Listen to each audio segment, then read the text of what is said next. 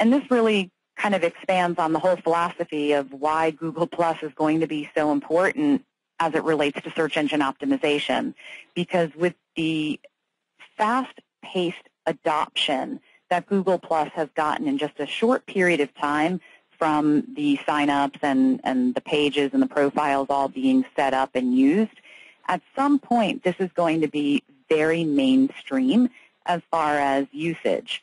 And it will become, this is just a very small sample here as far as, you know, the data, the personalized data that's being pulled into the search results. So Tony, if you look at the top right-hand side of the screen, you know, Tony is logged into his personal Google Plus page in this particular example. And so it's the people that Tony is connected with that are being shown or displayed as far as endorsements or engagements for the web results as he's using Google as a search engine. So I think the more you expand your connections as an individual, and I think the more Google starts relying on all of this personalized information to help refine for the searcher what is best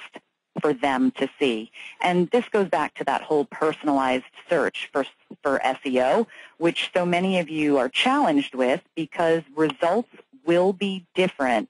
in the listings and for keywords based upon each different person and especially if they're logged in, geographically where they're located, and what types of content it looks like they like to digest. And so that's something, you know, to to always be cognizant of when working your search engine optimization for your website is there's a certain element of it that's going to be left out to the community. And so the more you engage with the community, the more it will help your SEO efforts long term.